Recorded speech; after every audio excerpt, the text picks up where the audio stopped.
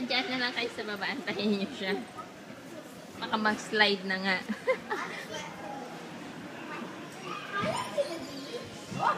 Ha,